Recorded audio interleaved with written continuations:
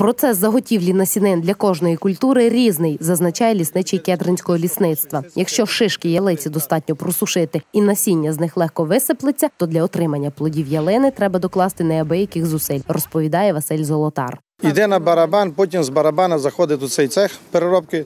Отут є у нас ця машинка, що цей це для що де безкрильє насіння.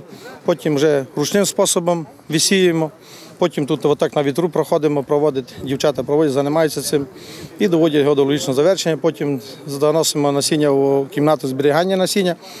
Там дівчата з ним працюють, розважують, засипають у бутлі. Однак, поки з насінини виросте деревце, яке повноцінно буде рости в лісі, має пройти не менше трьох років. До потрібного розміру саджанці ялини, ялиці та явора виростають протягом двох-трьох років. А ось кедр європейський впродовж п'яти років. Лісничий зазначає, що кедр дуже вибагливий, росте на висоті вище тисячу метрів над рівнем моря, і зібрати його насіння не так просто. За 5 років один-два рази може нам ся вдасться забрати шишки кедра. Не то, що вони не роють, вони фактично роють так і смерека, а вони, коротше, ця птиця дуже сильно поїдає.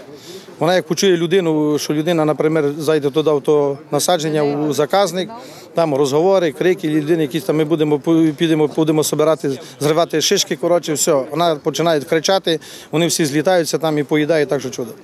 Лікувальні властивості кедрів відомі народній медицині здавна. Їх не заперечує і сучасна наука. В кедрі буквально все від зелених голочок до шматочків кори володіє цілющою силою. Однак найбільше корисних властивостей в горіхах. Тому лісівники дуже серйозно підходять до їх збору. Сітки такі робимо, накладаємо на шишки, лазимо по деревах, молоді хлопці, коротше, так їх зберігаємо.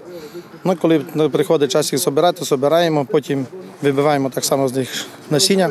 Загалом у Брустурянському ЛМГ, до якого відноситься кедринське лісництво, цьогоріч планують висадити декілька гектарів різних культур. Тут у нас основна лісоутворююча порода то смерека і бук. 70% у нас насаджень складає смерека звичайна. У нас для того у нас є 5 лісових розсадників площею 4 4,5 гектари і 10 тимчасових лісових розсадників, на яких ми щорічно викопуємо і пускаємо у лісокультурне виробництво більше мільйона саджанців і сіянців основних лісогосподарських порід. Акція з посадки дерев на території лісового господарства розпочнеться після великодніх свят.